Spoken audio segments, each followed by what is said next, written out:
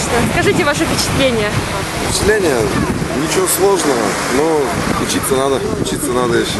Есть чему учиться. Что вы думаете об экспресс-методе обучения? Все супер.